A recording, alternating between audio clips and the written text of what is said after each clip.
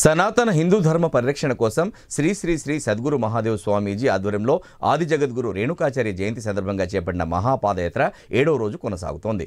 కామారెడ్డి జిల్లా గాంధారి మండలం గుడిమెట్ గ్రామంలో ప్రారంభమైన మహాపాదయాత్ర సిద్దిపేట జిల్లా చేర్యాలకు చేరింది. గుర్జకుంట క్రాస్ రోడ్ వద్ద కుమరవెల్లి ఆలయ ప్రధాన అర్చకులు మహాదేవుని మల్లికార్జున్ ఆలయ చైర్మన్ భిక్షపతి మహాపాదయాత్రకు స్వాగతం పలికారు.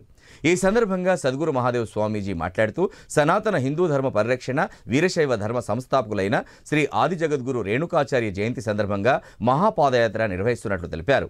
ఎనిమిదో తేదీన ప్రారంభమైన పాదయాత్ర పదిహేనో తేదీన యాదాద్రి జిల్లా కొలనుపాకలో ముగుస్తుందని తెలిపారు. రెండు వేల పదమూడు సంవత్సరంలో ఎనిమిది మందితో ప్రారంభమైన పాదయాత్ర తొమ్మిదవ సంవత్సరం సుమారు రెండు వేల మందితో సాగుతుందని తెలిపారు.